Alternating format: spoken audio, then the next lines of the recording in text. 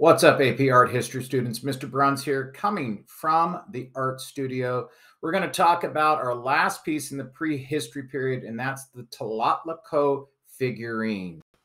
So before we begin to talk about the Tlatilco figurine, we need to kind of go back and look at some history. So roughly 20,000 to 30,000 years ago, we have a migration from Asia across the Bering Strait, whether it's an ice bridge or a land bridge, either way we look at it, it's going to be a bridge. And these people came, some stopped where, the, you know, the North uh, Pole is located, and others continued on. These are hunting and gathering societies, and they would fan out into North America.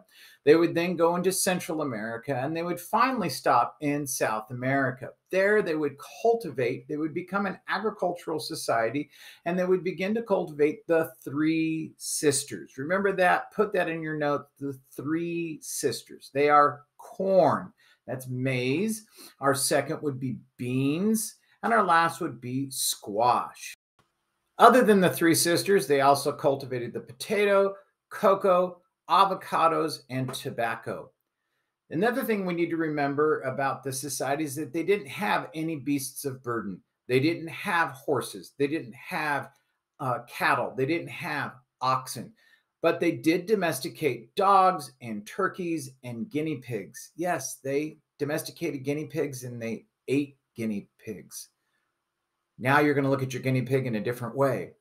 They also domesticated the llama. Now you think that a llama would be a beast of burden, but it can't. A llama really can't hold more than 70 pounds of gear, and after 70 pounds is on the ground. They also domesticated the camelid. We've looked at the camelid canine sculpture piece, the camelid, and that would have been our alpaca. Mesoamerica. What is Mesoamerica? Well, Mesoamerica extended from central Mexico well into Central America.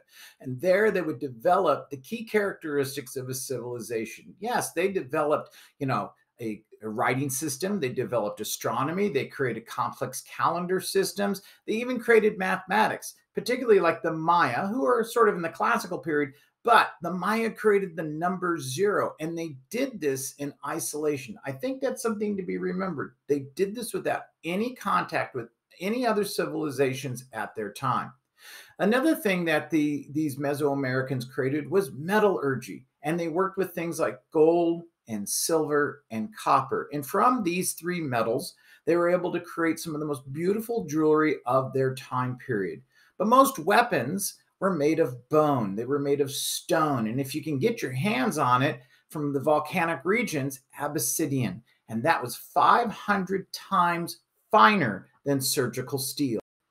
Now, the time period for the Tlatilco figure is called pre classical. That is more the formative time period. And why is this? Well, this is driven a lot by Mayan agricultural finds. And it's we take that period as when the Mayan, using their writing system and their dating system, we can determine when they first started to create stone monuments. So that becomes the cut point for classical period. So the Tlatilco figure sits in the pre-classical art period of Mesoamerica.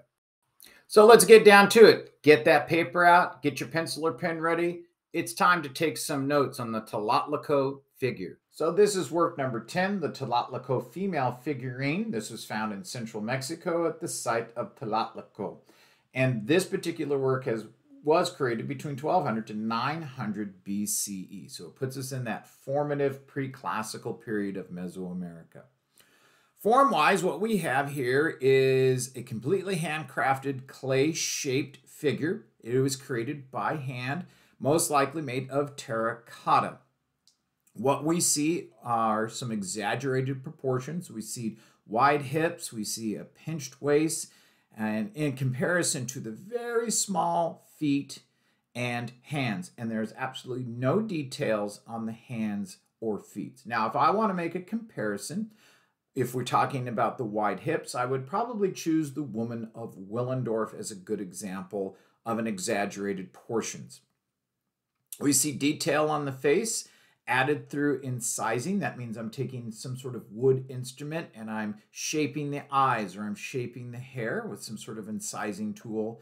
And obviously this piece must have been painted because there have been chips of paint found on it. And there are, as you can tell, there are some colorations to it. Content wise, this is a female nude figurine. It is double headed bicephalic, and it may symbolize a concept of some level of duality. And this was an important component of Mesoamerican shamanism as well as tradition. Again, content wise, if I'm talking about this, we see wide hips. Maybe this is representation of some sort of fertility, pinched waist. Uh, elaborate hairstyle seems to be important to the region itself. It might be a similar motif, as we can also see other pieces like this. And the pose seems to resemble that of a dancer. Contextually, we're looking at the Valley of Mexico. This was inhabited by the Tlatilco people.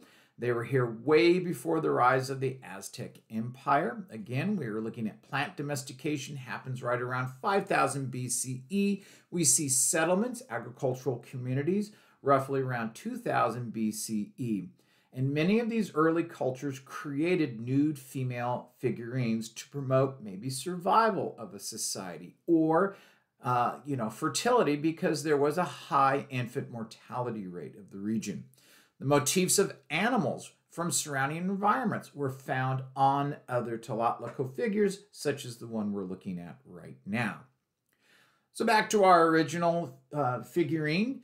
This was found in a grave in Mexico City by miners. And so we're having this sort of common uh, element found in a lot of our prehistory art that there's some sort of funeral ritual going around in different parts of the world. We're either finding, like if we look at the Jade cong and it's and the bi, they're found in uh, funeral spots for people. So there's somehow some sort of connection here. It could have also been there for, for the promotion of fertility or the promotion of survival. But it also suggests that maybe these people were fascinated with the supernatural, the physical deformity, and the interpretation of the supernatural by natives. So this could have been some sort of female deity that had some sort of dual purpose. There you have it, AP Art History students. That's the Tlatilco female figurine, part of our prehistory, part of Unit 1, 4% of our overall exam. So you want to be preparing to see it possibly in the multiple choice section. It could be in one of the 15 minute essays.